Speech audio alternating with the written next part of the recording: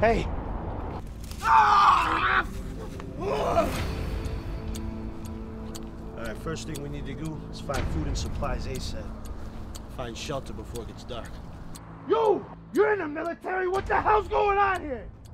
Everybody's dead. Can't you see?